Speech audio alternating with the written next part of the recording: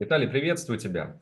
Торговая сессия среды, наша вторая традиционная встреча. Ну, все без изменений, друзья. Вы все прекрасно знаете, кто следит за нашим совместным контентом с Виталием, то, что мы с позиции техники фундамента смотрим на актуальные рыночные возможности. Если есть что-то интересное по активам, которые анализируем, делимся с вами информацией. Ну и, конечно же, как дополнительная мотивация для вас э, уже принимать решения о трейдинге, если вам нужны подсказки, если вам нужна э, помощь, и вы не решаетесь.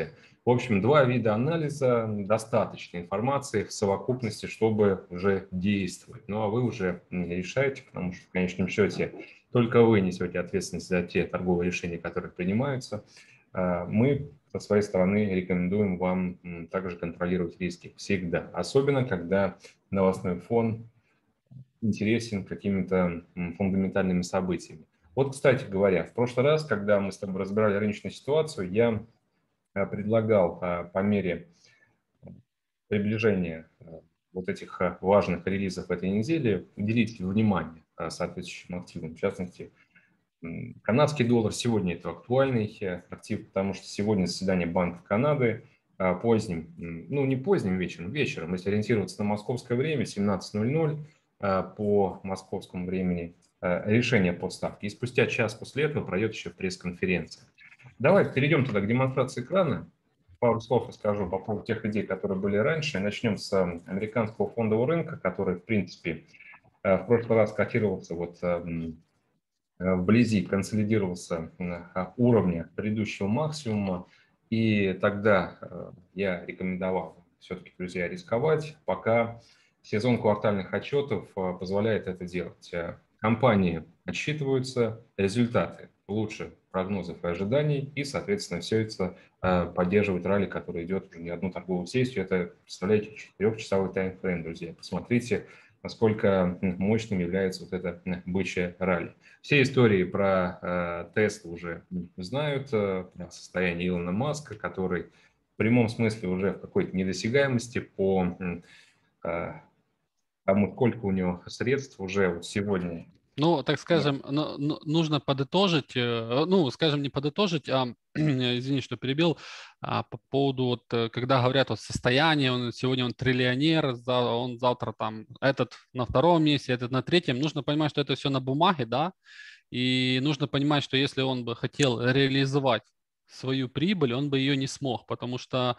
э, по текущим ценам, хоть и акции ликвидные, но он бы то количество акций, которое у него есть, он бы не смог продать. Э, если бы смог, то с очень большим дисконтом, там процентов 30, а может и 50. То есть это тоже нужно понимать, что... Да, это, это, это действительно так. Э, это то же самое, как очень часто говорят про э, криптовладельцев, например, криптомиллиардеров по биткоину. Может быть, их, у них много, но э, если они захотят э, выйти в кэш, э, сбрасывая большое количество биткоинов, они в конечном счете лишать себя этого состояния, потому что цена, как вы все прекрасно знаете, друзья, очень реагирует э, быстро на вот этот перекос спроса и предложения.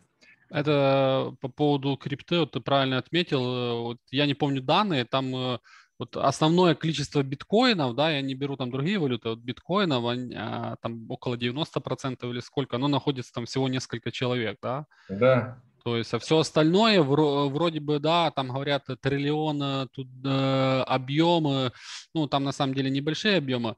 Э, то количество биткоинов, которые есть э, среди рядовых, скажем, трейдеров, инвесторов, да, оно небольшое, да, там нету таких каких-то заоблачных, да, есть миллионеры, да, но каких-то э, мультимиллионеров, их, ну, там единицы, поэтому это нужно понимать. И то же самое по поводу фондового рынка, да, вот я на прошлой неделе смотрел данные, э, там 90 процентов, 95 процентов акций находится всего несколько там угу. условно несколько десятков или сот человек, да, а все остальное вот э, рядовые, скажем, а, инвестора, да, у них небольшое количество, они не столько не, не столь богаты, как как те основная масса, ну основная масса богатых. Вот, кстати, по поводу того, кто сколько владеет, вот сегодня видел статью, сейчас я ее быстренько нашел. Тысячи крупнейших инвесторов контролируют э, более трех миллионов биткоинов. Ну, считайте, что это львиная часть тех, которые уже добыты. То есть тысяча человек если размыть на общее количество криптотрейдеров, это, конечно же, капля в море, это вообще какая-то десятая это, доля процента. Да, да, да. Так, ну что, по поводу американского фондового рынка. Как я уже отметил, эм, сезон квартальных отчетов э, продолжается. До конца этой недели еще больше 100 компаний отчитается. Ждем и крупняк еще по корпоративному сектору, технологический. Ну, конечно же, отчетность может оступиться, и настроения могут быстро ухудшиться. Но пока то, что есть, то есть, друзья. Э, из тех компаний, которые отчитались, э, львиная часть хорошие отчеты, и при таком раскладе логично э, предположить, что все-таки не такой уж большой ущерб инфляция и вот эти проблемы с рынком труда оказали корпоративному сектору и прибыльным компаниям. Поэтому э, думаю, что рост может продолжиться, и, как и ранее, полагаю, что 4700 мы реально сможем э, увидеть. Так, э, другой актив, который в прошлый раз разбирал, это британская валюта. Я ее рекомендовал покупать с уровня 1.3730, э, до отложки мы так и не добрались. Сегодня я эту отложку оставляю в силе, котировки 1.3768. И транслирую как бы уже на следующую неделю, потому что следующая неделя – это по совместительству первая неделя ноября. Она, кстати, крайне будет насыщена на события, ФРС, заседание ОПЕКа – а, потом данные по Non-Farm Payrolls, вот э, заседание Банка Англии. То есть понедельник следующий, скорее всего, я еще раз актуализирую этот новостной фон, связанный с э, британской валютой. Но заранее, друзья, могу сказать то, что у э, британца сейчас очень хороший потенциал на рост, потому что все, что мы видели по статистике, по, опять же, и слышали по комментариям представителей британского регулятора, но есть очень хорошие условия для повышения процентной Э, ставки. Поэтому, если это решение будет принято об ужесточении политики, соответственно, фонд покажет очень хороший рост. Что касается э, канадского доллара, пара доллар-канадец, так, 1.2386 э, текущие котировки. И э, я сегодня рекомендую вам как раз попробовать поторговать волатильностью э, в свете вот этого события, заседания Банка Канады. Допускаю, что до самого заседания а, пара может восстановиться там до отметки 1.24 чуть выше. Я предлагаю даже отложку sell limit 1.2420, но все равно уверен, то, что канадский доллар а, укрепится. Сегодня точно а, Банк Канады пересмотрит прогнозы и по экономическому росту, и по инфляции. И в свете тех релизов, которые мы анализировали ранее, это розничные продажи, данные по инфляции, которые, напоминаю, э, это статистика прошлой недели, когда индекс потребительских цен достиг 4,4% в годовом выражении. Это все стимулы, мотивация для Банка Канады отказаться от программы количественного смягчения, свернуть ее. И это, конечно же, будет эм, шагом в сторону ужесточения политики. Классика на все это реагирует. Канадский доллар, как и любая другая валюта на ужесточение политики, должна реагировать э, укреплением. Поэтому я думаю, что канадский доллар против американца сохранит текущую нисходящую тенденцию, тренд. Я еще, кстати, верю в дальнейший рост цен на нефть, и получается очень хороший тандем вот, этого, а, вот этих новостных факторов, которые могут привести к тому, что даже сегодняшняя торговая сессия по паре доллар-канадец может быть закрыта поближе к уровню 1.23 или даже ниже. Моя долгосрочная цель – это где-то 1.22. И что касается э, рынка нефти, сейчас 84,77. Я, э, друзья, рекомендую э, посмотреть все-таки не за уровнем поддержки, который вот, если оценивать по значениям 83, 80, там чуть пониже, а именно на многомесячный максимум, который был протестирован ранее в районе 86 долларов за баррель. И кому интересно сейчас э, поспекулировать нефтью, то, соответственно, пробой сопротивления 86 может стать хорошей инвест-идеей. Э, соответственно, при э, дальнейшем восходящем движении на новостном фоне, связанном с глобальным энергетическим кризисом, кстати, сегодня данные по запасам еще выйдут в 17.30 по московскому времени, в прошлый раз, на прошлой неделе, снижение запасов бензина, нефти, дистиллятов, все это привело к росту нефти и допускаю, что сегодня ситуация может повториться. То есть смотрю на рынок нефти вверх, buy stop 86, take profit 89 и stop loss 85. Виталий, слово тебе.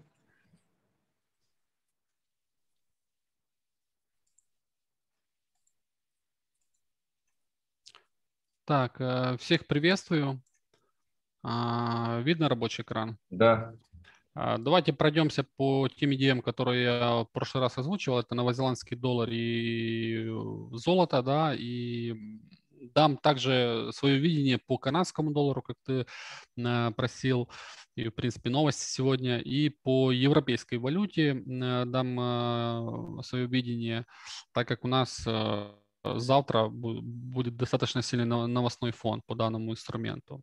Итак, золото. По золоту я а, говорил, что возможно снижение по данному активу ниже 1800 долларов, да, то есть mm-hmm. уровень был неплохой, здесь был ложный пробой, но я еще такую ремарочку ставил, что а, вот именно понедельник там было э, видно поджатие, и поэтому в тот момент шортить было, скажем, рискованно, нужно было подождать хоть, э, хотя бы выравнивание. Ну, видно вот на часовичках здесь поджатие, и выровняли только, только вчера. То есть вот э, с этого поджатия вот его так сломали, да. То есть вот вчера можно было рассматривать э, неплохие шорты, и ниже 1800 на, ушли и достаточно неплохо, там плюс 200 э, пунктов практически. На текущий момент э, по золоту мы подошли снова к э, локальной трендовой линии. Я пока, скажем, оставлю идею на снижение. Если кто шортил там в районе там, 1800 плюс-минус, сделку можно оставить пониже, без убытки, потому что от, а, от этой точки мы можем, в принципе, снова отскочить наверх. Скажем, вот, вот так, такое у меня видение по данному инструменту. Дальше, новозеландский доллар. Говорил о нем, что мы находимся возле сильного уровня сопротивления. Это 0.7170, плюс здесь была, скажем, такой момент э, неплохой модели в шорт э, мы локально в понедельник падали, но я пока по данному инструменту перевернулся в обратную сторону. Вот, э, вот в понедельник, вот здесь, когда мы утром обсуждали и говорил за шорт, на часовиках видно, мы падали, локальные минимумы сделали, но после того, как мы откупили вот этот момент, да, я сразу во второй половине дня и вечером э, еще там писал ребятам, э, своим ученикам в про канал, что я пока по данному инструменту за лонг, и поэтому шорты отменяются. Они, конечно, могут быть, да, но я бы рассматривал э, покупки по данному активу, там плюс-минус текущих, цена 71.70 с стоп-лоссом за вчерашний минимум. Э, точнее, позавчерашний минимум, это у нас получается 71, там, 30 а, условно, да. И расти у нас есть куда до максимума прошлой недели и, возможно, выше. А, это пока такой сценарий у меня по данному активу. Дальше, канадский доллар. А, согласен с тобой по поводу шарта по данному инструменту. У нас здесь э, тренд, да. Конечно, здесь чуть-чуть корявенько. Я даже пытался в понедельник купить данный э, инструмент, потому mm-hmm. что а, у нас здесь была такая локальная трендовая. Вот, вот в понедельник покупал, но вышел с данного актива вот все время откупают, э, но как-то не идут на пробой э, уровня там условно 1.24. Пытались уже несколько раз, поэтому возможно рассмотреть снижение. Э, хотя здесь чуть-чуть мне не нравится ситуация, но так как новостной фон, возможно рассмотреть с текущих. Это 23.80, там 5. На все, что ниже 24, возможно рассматривать на шорт с обновлениями возможно, 1.23 сегодня, там, завтра. И не исключаю тот момент, который ты э, выставил тоже на лимит, sell лимит на возможный такой какой-то выброс э, шпильки на новостях и дальше вниз. Но это уже, скажем, по факту нужно смотреть. Но пока ниже данного уровня возможно работать на снижение. Mm-hmm. Ситуация чуть-чуть такая корявенькая, но, скажем, э, что есть, то есть. Дальше. Евро-доллар. А, завтра новости сильные.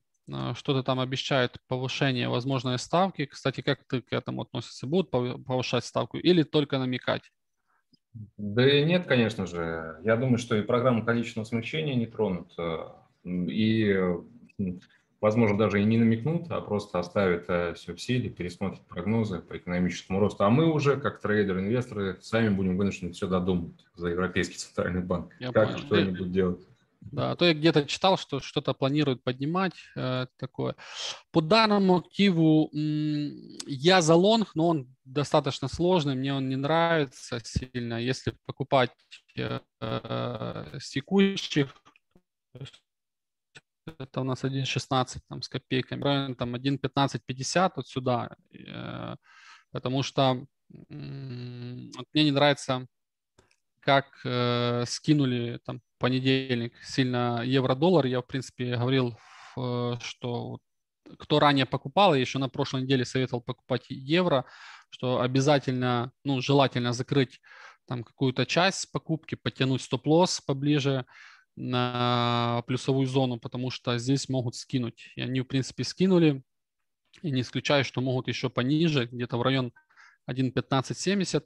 А, но будем надеяться, что рост будет текущий, хотя он мне сильно не нравится. Возможно, ближе к четвергу а, картинка какая-то будет более ясная, и будет ли она лонговая, тоже вопрос. Угу. То есть вот как-то вот так, пока у меня покупка против, против доллара, то есть это евро-доллар, канадский доллар за снижение, новозеландский доллар, э, золото дальше за снижение. То есть вот так. С индексов э, ты покупаешь S&P 500, я писал в понедельник тоже своим ученикам покупка этого.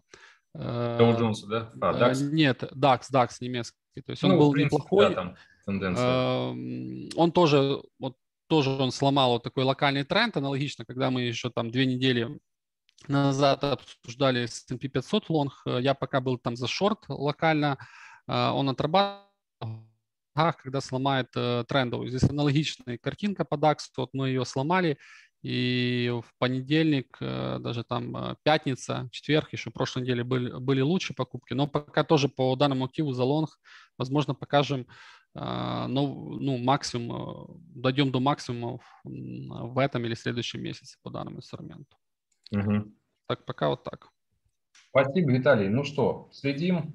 Заседание Банка Канады, заседание Европейского центрального банка завтра.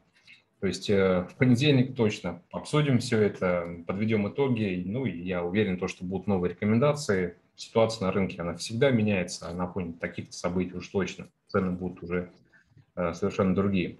Виталий, тебе хорошего закрытия недели и э, тоже уже по традиции хороших выходных. Все, Спасибо. Пока. Удачи. Пока.